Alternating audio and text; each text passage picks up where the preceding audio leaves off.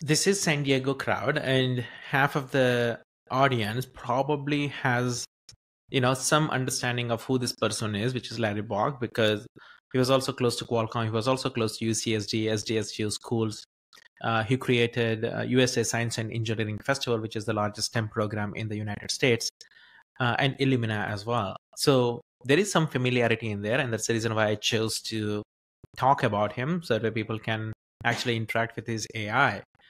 Um, well, the moment for me was it's just everything coming back to fulfilling that original dream. It's almost like a mission for us, right? Or for me, which is can I create Larry's AI?